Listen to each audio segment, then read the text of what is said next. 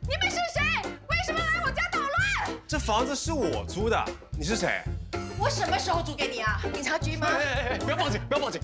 误会误会，她真的是屋主，她是我姐，她是房客，还有一个女生。啊，是你？我不会让你住进我家的。谁要跟你住在一起啊？从明天开始，我有个女同学要搬进来，我反对。反对无效。我叫乔慧妍，你叫我慧妍就好。你跟那个笨菜头情侣吗？当然不是。你这小偷竟敢擅闯我家！我不是小偷，这是我住的地方。这明明是我知道你骗谁啊！让别人骗他，还不如我们自己人骗他。不过需要大家帮忙演一场戏。那些都不是真的，你不要去相信那些流言蜚语。啊我就是有眼无珠，才会被你们这些臭孩子捉弄。不准拍！放心，我会打马赛克，你们不会被认出来的。喂，你是偷拍我们吵架，快删掉，不要破坏我形象。放手！我我的手机，魏庆豪，我讨厌你。我买了个新手机，你可以先拿去用。我说让开，要不然我就跟训导主任说你骚扰我。不要就拉倒。不要拍我！不要拍我！三八妹，我要把你的丑照放在网上，让大家看看三八的样子。你以后不准吃我煮的饭。你这么想做我的煮饭婆吗？占我便宜！专家说过，有很多情侣都是跟对方斗气开始的。我跟他只是房客，还有同班同学的关系。以后你去打拳的时候，能不能带我一起去？我想拜你为师。你只要吴淑玉女士能够完成谢伟德生前所定下的任务，你才能够继承他留给你的这份三十万的遗产。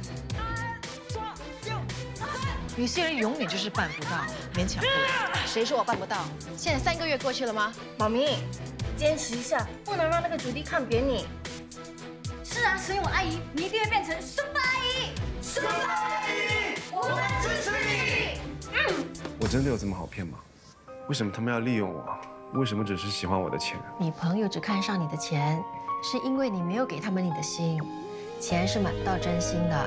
你明明是喜欢人家就不敢讲，那我就帮你讲啊！你这样子做会让我觉得很丢脸的。唯有家人才可以无条件的接纳你、爱你，即使你犯多大的错误，都会原谅你。你爸爸有多爱你，你应该懂的。你这么紧张，就是怕我考试不及格，收不到钱。我是贪钱怪，我是为了钱才答应跟你补习。阿姨知道你最近承受了很多的压力。也许阿姨帮不了你，但是我是不错的听众。你把心事说出来，别闷在心里。你明明知道他喜欢你，为什么还叫我去追他？你们两个为什么要玩弄我的感情啊？你真的误会了，我跟他说。跟我回家好不好？我妈他们都很担心你，都一直把你当做家人。是我太笨太傻，才会一次又一次的相信家人朋友这个东西。难道你还看不出来吗？就算全世界的人遗弃了你，我还会一直陪在你身边。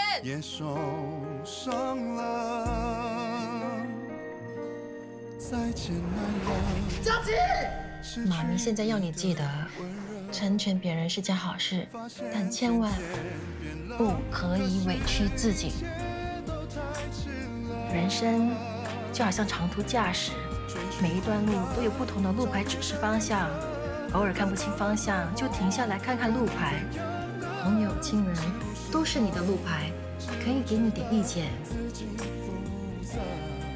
我真的很庆幸这段日子有你们的陪伴，谢谢你们，让我这个什么都不懂的阿姨有成长的机会。